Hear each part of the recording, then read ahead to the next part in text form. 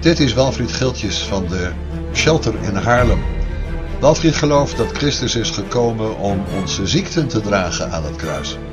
Walfried gelooft in een gemeente van sterke mensen. Walfried gelooft dat je de ziekte niet moet bestrijden door te bidden om genezing, maar dat je in de autoriteit van Jezus moet gaan staan om genezing te proclameren. En daar draait dan zijn hele missie om. We zijn een leger. En dat we genezing uitspreken, niet vanuit een vraag, maar vanuit die autoriteit die Jezus jou gegeven heeft. En ik geloof dat we aangevallen worden juist op dat gebied waar onze overwinning ligt. En hoe gaan we hier nou mee om? En hoe gaan we hier nou mee om? Weet je, Satan die komt om te stelen, te roven en te vernietigen. Dat is zijn functieomschrijving. Dat lezen we in Johannes 10. Weet je, dit komt niet bij God vandaan. Weet je, hij heeft zijn zoon gegeven. Jezus het is volbracht. Jezus is gestorven aan het kruis. Hij heeft elke ziekte en elke vloek heeft hij op zich genomen. De gemeente die bestaat uit krachtige mensen, dat we juist nu op moeten gaan staan. En dat we nog radicaler gaan bidden voor de zieken. Dat we nog meer vrijmoedigheid vinden om te bidden voor degenen die ziek zijn. Dat we ze de hand opleggen en dat we genezing uitspreken. Niet vanuit een vraag, maar vanuit die autoriteit die Jezus jou gegeven heeft. ja. ja. Dit is Jan Paul. Jan Paul gelooft dat hij een profeet is. Jan Paul denkt dat hij een visioen heeft gekregen over de ondergang van de institutionele kerken in Nederland.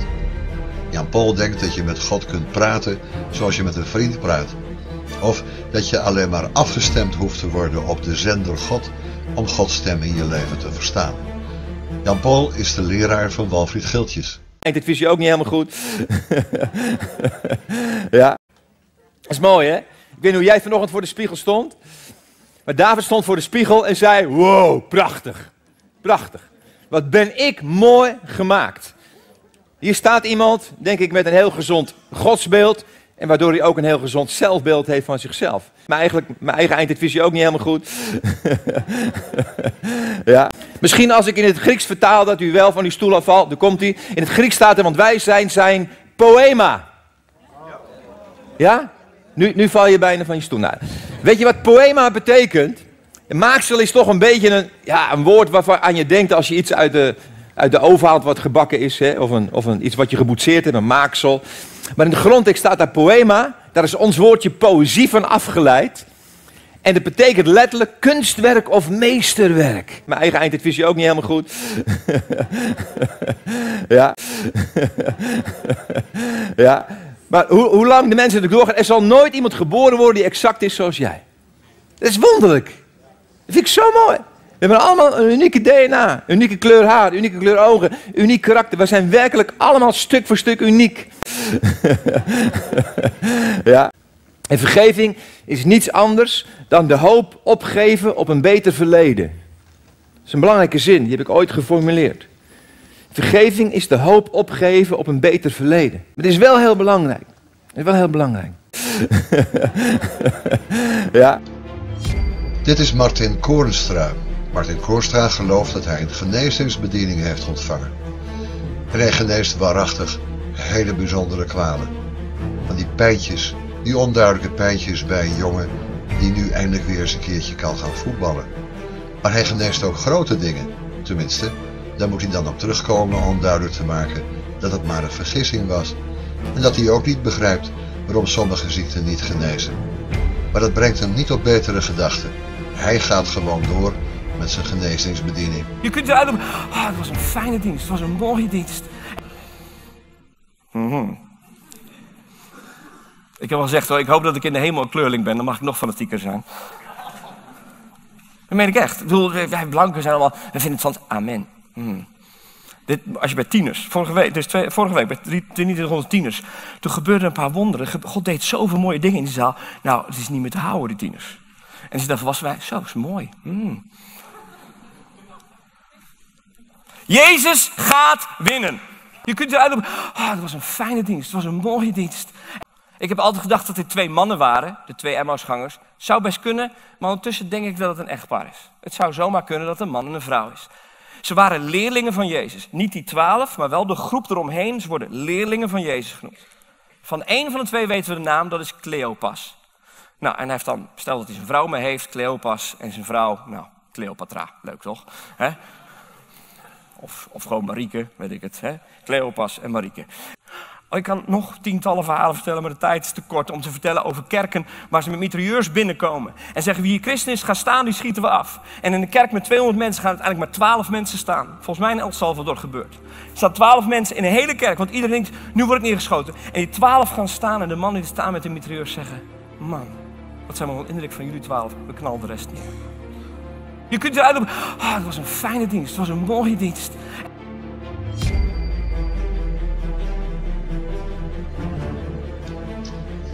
Dit is Arno van de Knaap, die zich graag Pastor Arno van de Knaap laat noemen. Hij heeft Gods stem gehoord en die heeft hem een genezingsbediening gegeven. En die heeft hem gezegd om een gemeente te gaan leiden en het evangelie te verkondigen. Wat hij graag doet met het citeren van Griekse woordjes die hij blijkbaar toch niet helemaal begrijpt.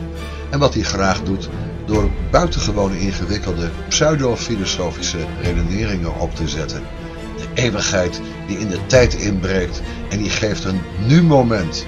En het is allemaal om het nu te doen. Pastor Arno van de Knaap.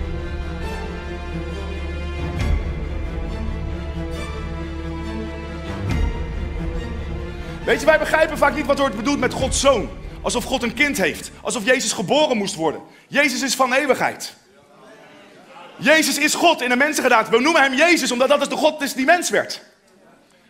Dit gaat heel diep al gelijk. En met kerst is het heel erg belangrijk dat jij bewust bent wie wij echt aanbidden met elkaar. Dat was mijn gevoel, weet je. Kom aan, de Zoon van God wordt al geboren. Er was geen, voor hem geen plaats in Leiden. Oh. Er was voor hem geen plaats in de herberg. Opdat niemand, niemand, niemand verloren zou gaan. Laat mijn wil in lijn komen met uw wil. Ik zeg tegen mijn wil om in lijn te komen met uw wil. Opdat niemand verloren gaat. Kom maar, geef Jezus even een applaus. Kom maar. Kom maar, geef Jezus even een applaus. Kom maar. Kom maar, geef Jezus even een applaus. Kom maar. Kom maar, geef Jezus even een applaus. Kom maar.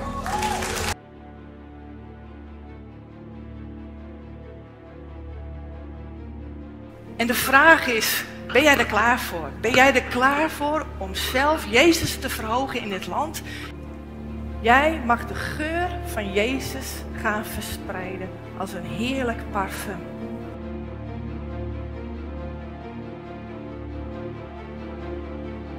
Je denkt dan, ik ben niks, ik kan niks en ik zal nooit wat zijn.